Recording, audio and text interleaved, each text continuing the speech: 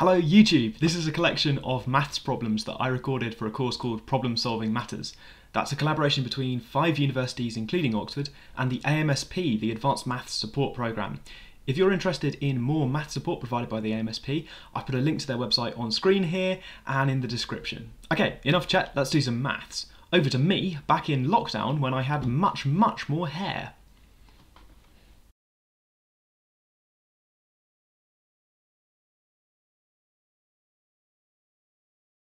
We're given two chords, PQ and PR, and we're told that they make an angle of theta, and we'd like to maximise the shaded area between those two chords. So when I see a new problem like this, um, when I haven't really got a way in, um, I like to imagine what would happen for particular values of theta, um, to try out special special values and see if I can generalise from there.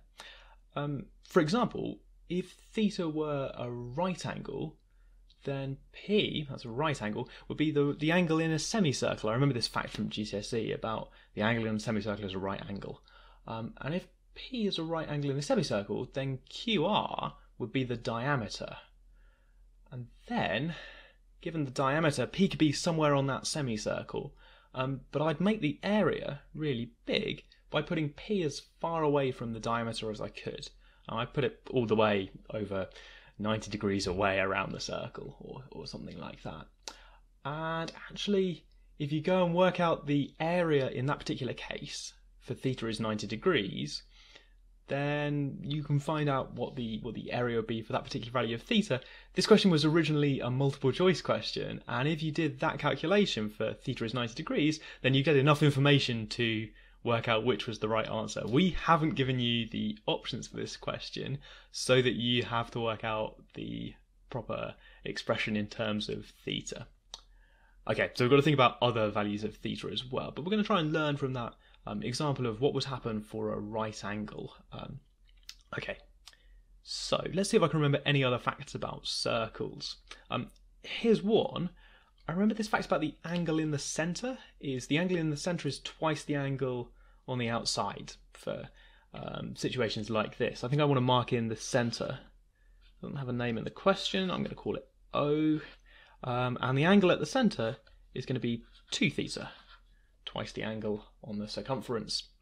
Um, and that's quite interesting because it means if theta's fixed, then, well, I suppose 2 theta is fixed as well. And this area over here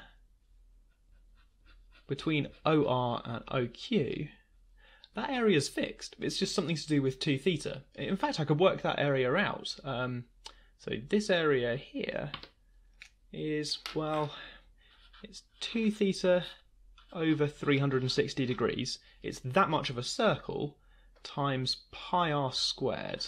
I think the radius of the circle is 1, but I'll put pi r squared for now. Um, so that's how big the purple area is over there. And that's fixed. It's just uh, something to do with theta. I suppose uh, the only thing that I can change is I can move p around. Um, I can move p around so that uh, somewhere else on, on the circle it's still subtending the same chord, uh, QR, so it's still going to have an angle of theta. All I want to do is I want to make this leftover shape, this kind of Star Trek logo shape, um, I want to maximize that area. So for a given theta, P is somewhere on this um, somewhere on this arc of the circle. I want to make that area as large as I can.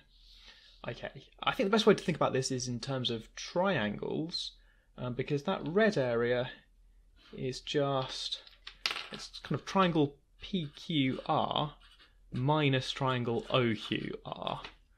Um, triangle OQR is fixed; it's part of this purple region that's a fixed area. Um, so I can make this red shaded area, the Star Trek logo bit, um, I can make that big just by making triangle PQR as big as possible. Okay, so we're looking for the biggest possible triangle. And the inspiration for this is to remember back in the right angle case, where we try to move that point as far away from the diameter as possible. Well, here we've got a triangle with a fixed base, um, QR, if I think of that as the base of my triangle, um, and I want to maximize its height so that I maximize its area. Um, and I do that if I put P as far away on the circle as I can from that line. When that happens, then the line PO will meet QR at, at a right angle. Everything will be nice and symmetric. P will be on the, the other side of the circle to the midpoint of QR. I know we've got a really nice setup. Um, I just need to find the area of that red Star Trek logo. Okay, um, my plan for this is I'm going to split it into these two two triangles, um, OPR and OPQ, um, because those are similar triangles. They're isosceles triangles as well, so it's quite nice to find their area. Okay, so there's a triangle over here that's got an angle at the top of theta over 2. Everything's nice and symmetric. It's isosceles, so this is also theta over 2 over here. Um, and it's got an angle here that I'm going to call x. Uh, my plan for finding the area of this triangle is to do 1 half um, BC sine A. So use the um, use the sine form of the area of a triangle. Uh, let's think a little bit. Um, x is going to be well, sum of the angles in a triangle is 180 degrees, so x is going to be 180 degrees minus two lots of theta over 2 is theta. Okay. And actually, sine of 180 degrees minus theta is the same thing as sine of theta. And as well as this triangle, I've got an identical one on the other side. So I want two of those. That's going to cancel out half. Um, put it all together, I get my final answer for the area as theta over 180 degrees times pi. That's from the purple region. Plus two lots of half of 1 times 1 times sine theta. This is my final answer. Theta measured in degrees divided by 180 degrees times pi plus sine theta. I think the original MAT question was asked uh, back in the days when we assumed everybody knew radians, uh, so it was asked in terms of radians. In terms of radians, uh, this formula is even nicer because this this term simplifies a little bit. Um, these days we don't assume you've seen radians, um, so we'd give the answer in terms of degrees. Um, but that's my final answer for the maximum possible area, the biggest triangle, plus a fixed region.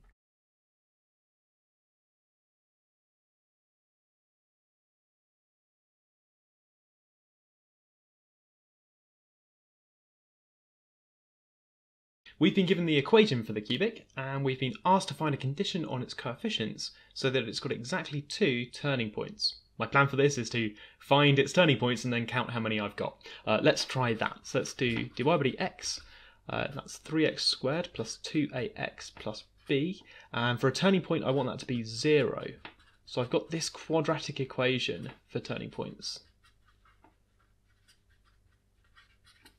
For turning points. Sorry about the handwriting. Um, okay, so this has got exactly two roots when the discriminant of this quadratic is positive. Uh, the discriminant here is b squared, I suppose, minus 4ac, where a isn't a, b isn't b, and c isn't c, but I want this to be positive to have exactly two roots. Okay, I think I can simplify this a little bit by dividing through by 4 to say something like a squared bigger than 3b, or something like that. But that's my condition in terms of a, b, and c to have two turning points. I suppose it doesn't involve C at all. That makes sense, I suppose, if you look back at the cubic, because changing C just moves this cubic up and down and won't change how many turning points it's got. Um, and I think it's worth saying that this, this does count as a condition in A, B, and C, even though C doesn't appear in it. Um, okay, so this is what we were looking for. Great. Next part of the question. Here we go. Um, the next part asks us for the distance between the two turning points, the x coordinates of those turning points. Um, so here I'm going to take the quadratic that I've got for its turning points, and I'm going to write down the two roots. Oh, I suppose I'm starting from this quadratic equation. Uh, the roots are at minus 2a plus or minus uh, 4a squared minus 12b over 6, which I think I can simplify down to minus a plus or minus a squared minus 3b over 3. A uh, good check here is that the discriminant turns up again inside this square root, so I'm checking that I've got uh, a sensible thing for the discriminant. And yeah, when a squared is bigger than 3b, this term inside the square root is positive. That's good news. Um, and the distant difference between the two roots, I've got expressions for x1 and x2, and so x2 take away x1 is going to be 2 times this part here, which is root a squared minus 3b. Okay, Fantastic. And that's the distance between x2 and x1. What next? Ah, so next we translate this graph so that one of the turning points is at the origin. And we'd say, we're going to say g of x is the equation for the new cubic we get when we do that. I think it's helpful to pause here and think about what changes and what stays the same when we do that translation. Um, it'd be very easy to plug in um, a general translation, left some number of units and up some number of units. We'd have a couple of variables in there. The algebra gets quite messy very quickly. Um, let's think about what stays the same and what changes. So when I do a translation, we talked about up and down translations. Um, that just changes this coefficient on the end. Um, left and right coefficients would be a bit like plugging in f of x minus some number, uh, x minus t, let's say, for some horizontal translation. Um, when we do that, we'll plug in x minus t into these terms, but the coefficient of x cubed will still be 1, because the only x cubed term in this will come from x minus t cubed.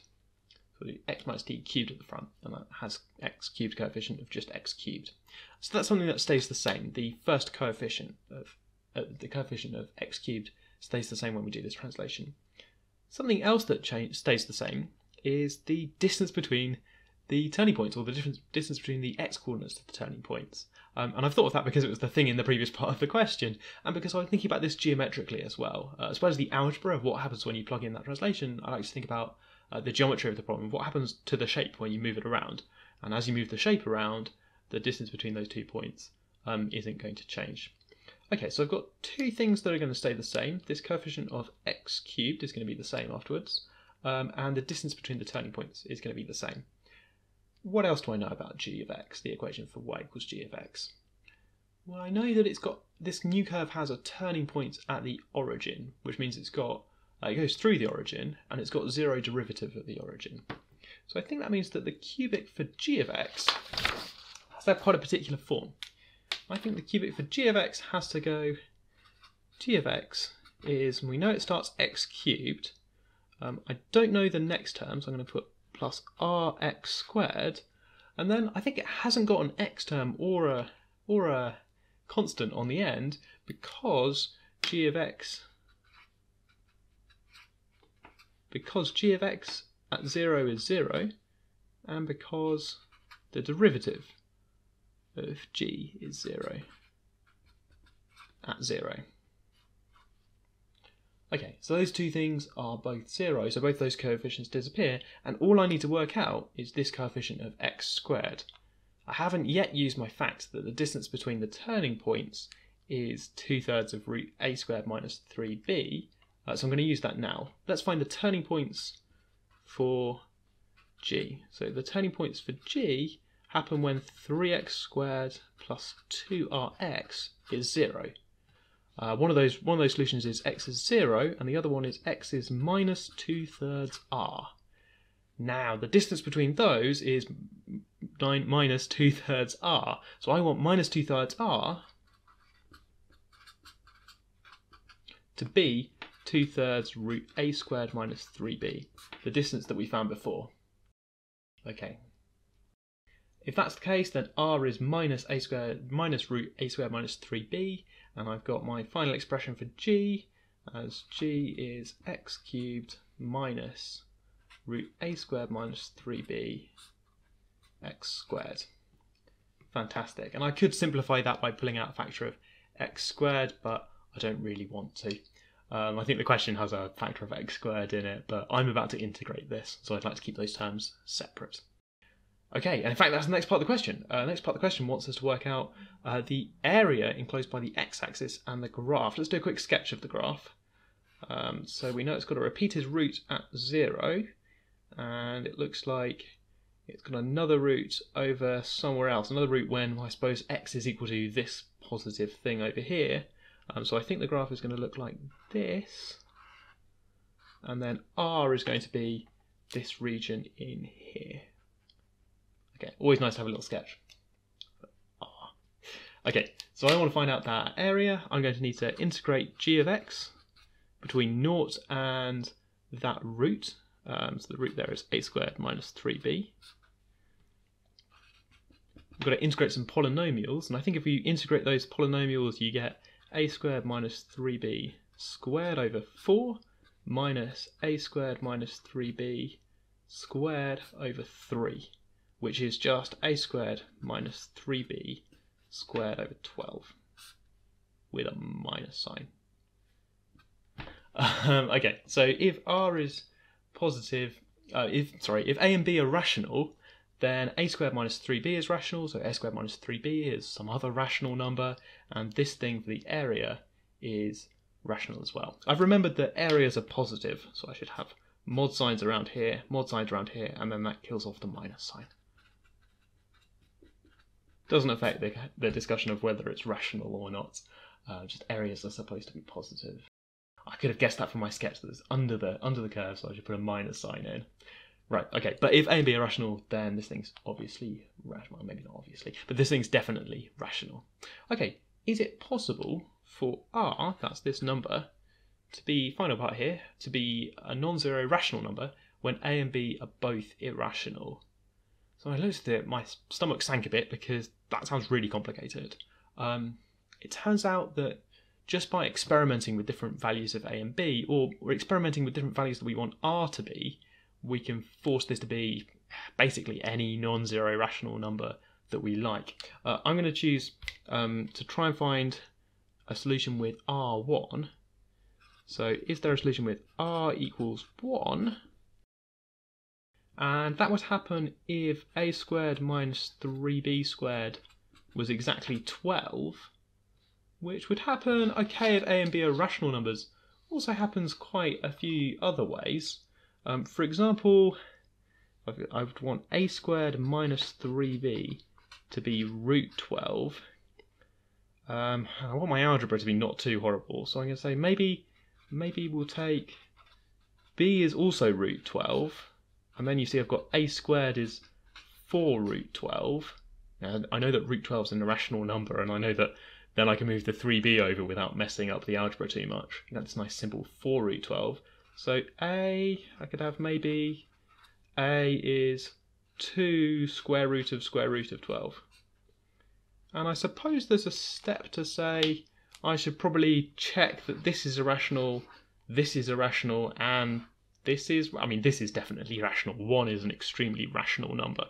If anything can be extremely rational. Um, but there's lots of other choices as well for values of a and b. Uh, is it possible for r to be non-zero rational num- number? Yes, even with a and b both irrational numbers.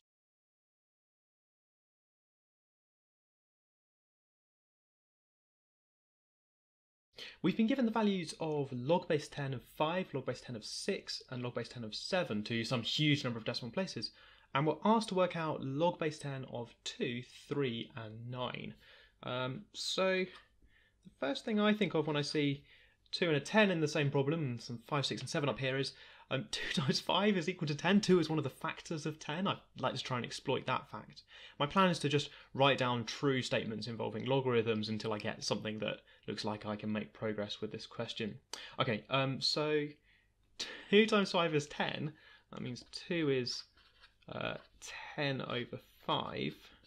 And again, I've no idea if this is making progress or not, but at least it's true. And sometimes writing down true statements is all I can do. Uh, in this case, I can now start using some logarithm facts to say this is log 10 of 10 minus log base 10 of 5. And this is looking really good now, because this is now 1 minus log base 10 of 5. Uh, so now I've got a plan. I need to take this first number I've been given, log 10 of 5, and do 1 minus that number. Okay, um, let's see if I can do that. Here we go. I'm not the best at doing subtraction. Let's see if I can get this one right. So I'm going to do 3010299957, I guess. And it's asked for this to seven decimal places. Um, so to seven decimal places, that's uh, 1, 2, 3, 4, 5, 6, 7. So I need to put 3, oh, oh, because I'm running up this 9, 5 to 7 decimal places. Okay, great. So use some facts about logarithms and then do some subtraction, which was harder than it should have been, really. Um, okay, so next up we want to do log base 10 of 6. No, log base 10 of 3. And my suspicion here is that 3 times 2 is 6. I've got this idea that I just used in the question um, to rewrite the number inside the logarithm as some ratio. I should try and exploit that again. Um, so here I'm already thinking, let's try and get lucky with the same trick again and write 3 as 6 over 2. Um, and then I can use that this is log 10 of 6, which is this number up here, minus log 10 of 2, which is the number we just worked out. Okay, quick note on decimal places and subtraction. Um, it's quite tempting to take the expression for log 10 of 6 to 7 decimal places and subtract the expression that I just found to 7 decimal places. But I'm a bit nervous about doing that because when you subtract with error mar- margins of error, the margins of error always add, they get, they get larger even if you're doing subtraction. And that means that by subtracting two numbers that are both true to 7 decimal places, I'm not sure I'm going to get a number that's correct to seven decimal places um, out at the end. All of that is me justifying I'm going to do subtraction using an extra extra digit of the numbers just to make sure that I don't have rounding errors. Okay, maybe I'm being too cautious. Maybe this question's been written so that uh, you can get away with just using the seven digit expressions for each of these. Okay, so I need to write out 0.778151, that's six digits, uh, 2, 5, and I need to subtract from that 0.30102, and I'm going to go to 8 digits, so I'm going to use three of these. Actually, the three, rounding this up, I get 3000 anyway. So if I do that subtraction, I get 2177 0.4771225, which when I round it up to seven decimal places is going to be, or round it uh, yeah, round it up to seven decimal places, give me 0.4771213 to seven decimal places. Okay, fantastic. So now I've got log base 10 of 2 and I've got log base 10 of 3. One more to do. Um, I'm going to need to work out log base 10 of 9. And here my plan is to use one more rule of logarithms. That 9 is 3 squared, so this is going to be 2 times log base 10 of 3. Uh, so I need to take the previous thing that I just worked out, I'm going to take it to 8 decimal places, and I need to double it. Um, so if I double that number, I get 0.894954, uh, carry the, oh goodness me, 24250 to 8 decimal places. So I can ignore this 0 when I go to to this this to seven decimal places. Okay, put in an extra decimal place and it turned out not to matter. Okay, a lot of calculations so far. Right, what have we got? We found log base 10 of 2, 3 and 9. We've already got 5, 6 and 7. I suppose interesting side question. We've almost worked out log base 10 of all of the small numbers. We're missing, I suppose, log base 10 of 4 and 8. Um, but I've got a plan for those. I could, I could work out log base 10 of 4. That's 2 times log base 10 of 2. Um, log base 10 of 8 is 3 times log base 10 of 2. Uh, I'm saying this now because it turns out that I need those for the next part of the question. Um, so, a bit cheekily, I'm going to work out those approximations um, just to a couple of decimal places, and I'll put those on the screen now um, for the approximations for log base 10 of 4 and 8, which I've just worked out in a similar way to the way I just worked out log base 10 of 9. Turns out we need them for the next part of the question. I guess there's an interesting side question of how many facts do you need to be told before you can work out all of the other log base n of small numbers up to n? So here we can work out all of the log base 10 numbers given just three bits of information. Could we do it with just two bits of information? What if we were doing log base something else? I have no idea what the answer to that question is. Might be too hard. Maybe have a think about that. Okay, right, we need to do the next part of this question now, which I've promised will involve log base 10 of 4 and 8 as well. Okay, um, so the next part of this question wants us to work out an approximation for some numbers, uh, 5 to the 100 to start off with. Um, so here we've got 5 to the 100. We'd like to know what the first digit is. In fact, we'd like to bound it between two absolutely huge numbers. Um, here's my plan. I'm going to take logarithms and use the approximations from the first part. The question quite helpfully has that text in it. Um, so maybe that wasn't my idea so much as just following the instructions of the question. So I'm going to take a logarithm, and that's going to be 100 log base 10 of 5, which I know from the previous part is equal to 69.897.00043. Okay, so what have I got here? Um, I've got a number that's 69 and a bit. And that little bit is going to be quite important um, because my plan is to say that this is, well, it's bigger than 69, but actually bigger, better than that. It's bigger than 69 plus, and then I've got this expression from log 7 for log 7 in the question, 0.84. Um, let's put 0.846 or something, which is bigger than 69 plus log base 10 of 7. And be very careful to bound it between two extra two extra things. Maybe that's a step too many. Um, this is also less than 69 plus, um, and then I want to say it's less than log 8, so I need to use my log 8 expression, which is about 0.9. Um, 0.9, which is 69 plus log base 10 of 8. Okay, so I've bounded this leftover bit between two of the numbers I had before. And I'm doing that because I want to put bounds on, on this number 5 to the power of 100. I'm expecting to then take powers of 10 of everything, you see. Um, so if I take powers of 10 of the left, yeah, 5 to the 100, all these logarithms will base 10 if I forget to write some 10s in some places. Um, 5 to the 100 is bigger than 10 to the 69 plus 0.846, so this is 69 plus log base 10 of 7, and it's less than 10 to the 69 plus log base 10 of 8. Um, but these numbers are 7 times 10 to the 69 and 8 times 10 to the 69. Okay, that's the inequalities we're asked to find. Um, so I think some of my um, some of my choices here were inspired by being told what to bound 5 to the 100 by. Um, in general, I try and work out how big this leftover decimal part of the number was um, to work out what numbers I could get away with putting over here, um, because those numbers are going to turn up over here.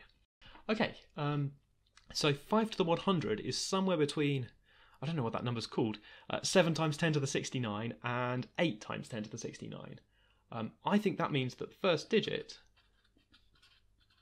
has to be a 7, um, because you're 7 followed by 69 digits, you're not as big as 8 followed by 69 zeros, so you start with a 7. Okay, I'd like to do exactly this plan for the remaining part of the question, which asks about some more numbers 6 to the 1000, 4 to the 10,000, and 2 to the 100,000. Um, here we go. So let's start another bit of paper. Let's do um, let's do the same plan again. So I want to take logarithm of this again. Logarithm base 10 of 6 to the 1000 is going to be 1000 times log base 10 of 6. Um, and that is using the expression for log base 10 of 6 that we had. Um, whew, well, so I want to multiply by 1,000, so that's three places along. So I'm going to get 778.151 2, and then I don't really care about all the rest of these digits. Okay, so 778 and a little bit. Uh, and crucially, I'd like to compare that little bit to the um, to the logarithms that I had before. Okay, uh, but in particular, I suppose this is less than 778.3, um, which is 30 or something, which is the expression for uh, log 2 that we had before. I'm writing it like this so that I can say that this is uh, this is roughly equal to 778 plus log base 10 of 2, um, which is interesting because it means that this number 6 to the 1000 is less than 10 to the 778, some huge number of zeros, times 2. Um, but it's also bigger than 10 to the 778, just because this little leftover bit up here means that this number's bigger than 778. Um, I think that means that its first digit has to be a 1, because it's bigger than 1 778 dillion, um, but it's not as big as 2 778 dillions. Okay, first digit 1. Right, good. Okay, same plan for the other two. Um, so I've got log base 10 of 4 times uh, 4 to the power of 10,000, uh, which is going to be 10,000 log base 10 of 4, which is, and now I need a really long expression for log base 10 of 4, so I'm going to write that out as 10,000 times, and I'm going to need uh, to double the expression I have for log 2, which is going to be 0.6020600 more or less. Uh, when I multiply that out by 10,000, I'm going to move four places along. so I get 6020. This number's huge, 0.600, and so on. Okay, so same plan again. I've got a huge integer part, and then I've got some leftover part that's going to indicate what the first digit of this massive number is. Um, and this is uh, very close to log base 10 of 4, isn't it? In fact, it's slightly smaller than this, which would be 6,020 plus log base 10 of 4, very slightly smaller. Um, I think this means that the first digit is is 3. And you can be more precise with that argument by checking that this decimal part is bigger than log base 10 of 3 that we had before. One left, um, another piece of paper. Um, so last one is the absolutely massive number of 2 to the 100,000. So I'm going to do log again.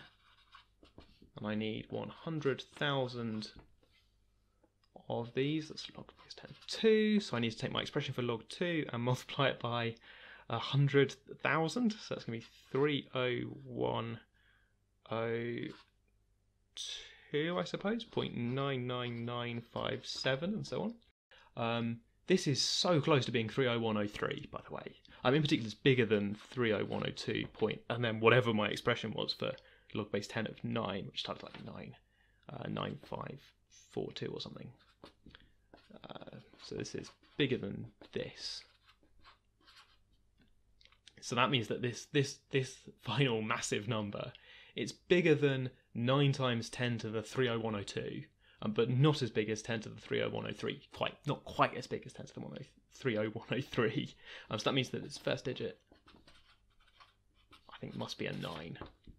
Okay, same plan for each of those, slightly uh, different execution just by comparing the numbers together, but following the instructions in the question, we've compared the logarithms for these numbers.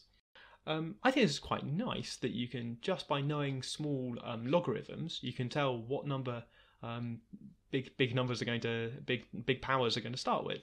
Um, you might have seen a similar trick for uh, looking at what numbers these are going to end with by looking at patterns in powers of numbers. Um, but as far as I know, uh, this is the best way of finding what number, uh, what digit huge numbers start with.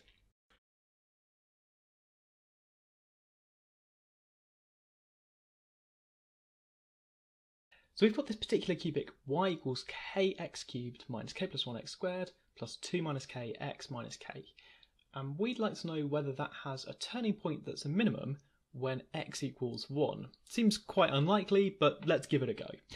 I think the only way to approach this is to try and find where the turning points are for, gen- for general k, uh, and then see if that gives us some conditions on possible values of k so that we get a turning point that's a minimum when x is 1.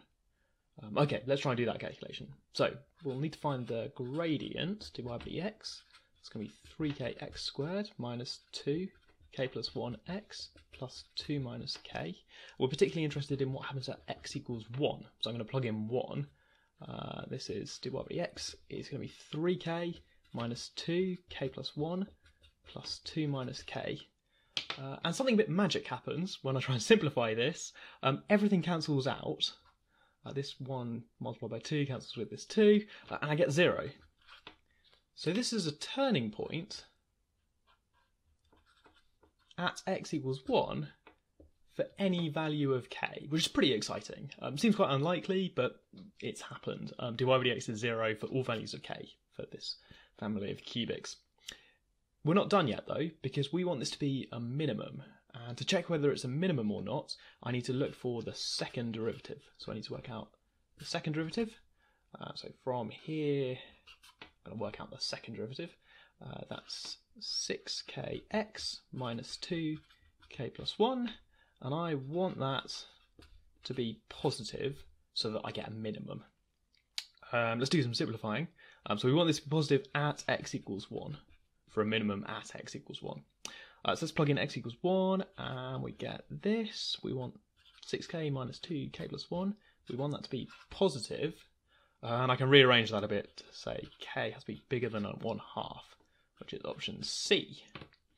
So this question is a little bit unusual because perhaps you're used to finding the turning points of a curve or a cubic, um, but this question asks it the other way round. It asks you, given these properties about the cubic, tell me about the coefficients in the cubic, kind of working backwards.